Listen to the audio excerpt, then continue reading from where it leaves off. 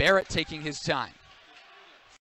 For Krasa, who's playing in his first game after being signed by Cowichan. Goes up for Wilson.